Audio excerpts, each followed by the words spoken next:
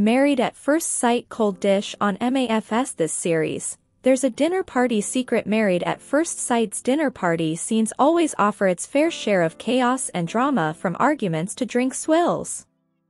But according to a UK groom who is currently starring on the E4 series, there's a dinner party secret that viewers never see on camera.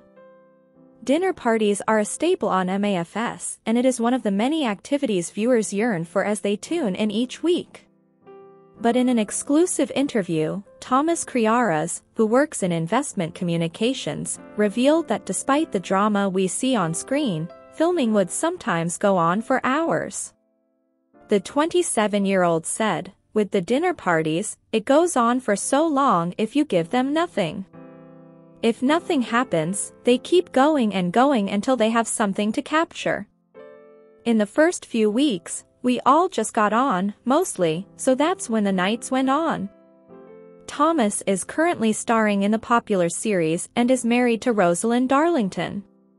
He has remained tight-lipped about how far he and Rose make it after the experiment but credits her with helping him regain his confidence. I wouldn't have got through it without Rose, he insists.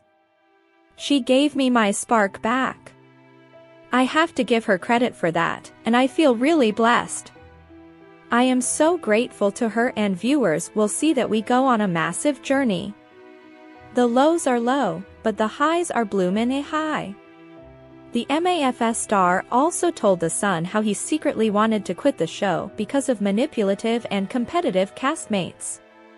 While he didn't give any names away, he said how he couldn't cope with the manipulation coming from other cast members. Thanks for watching this videos, please hit the subscribe button for more updated news.